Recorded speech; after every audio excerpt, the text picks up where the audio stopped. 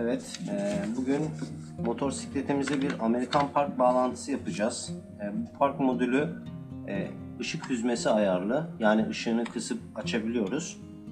Bu modülü bağlamamızın amacı e, sinyal vermediğimiz zamanlarda sinyal ışıklarımızın park gibi direkt yanıyor olması. Aynı zamanda sinyal verdiğimiz yönün ışığının sönüp sinyal şeklinde yanıp sönmeye başlaması için. Şöyle bir şemamız var. Bu şemada da zaten e, çok açıkça gösteriyor ama e, ben yine de anlatmak istiyorum.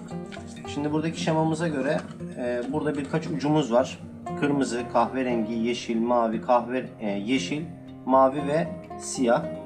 Bunlardan kırmızı olan zaten bu kırmızı olan kabloda bir sigorta bulunuyor. Sigortadan da anlaşılacağı gibi e, bunu aküden gelen artıya bağlıyoruz.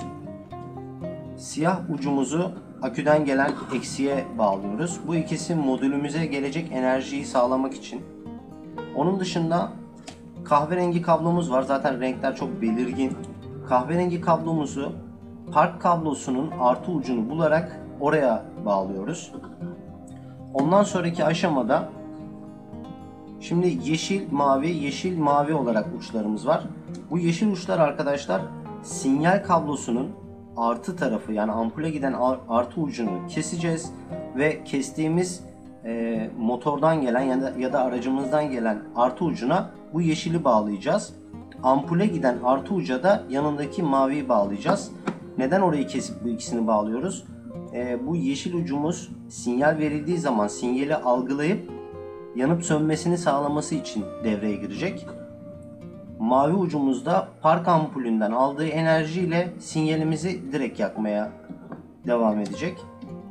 Diğer ucumuz da aynı şekilde yapıyoruz. Zaten bu uçlardan iki tanesi e, eğer araca bağlayacak olursak yani arabaya bağlayacak olursak bu mavi ve yeşillerden bir tanesi e, çok uzun. Yani aracın diğer tarafına uzanabilecek vaziyette.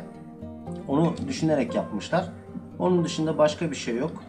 Birazdan da e, bunu motosiklete bağlarken göstereceğim. Bunu şimdi LX150 bir tane Vespa'ya takacağım. Siz de izleyeceksiniz. Umarım beğenirsiniz. Şimdilik bu kadar.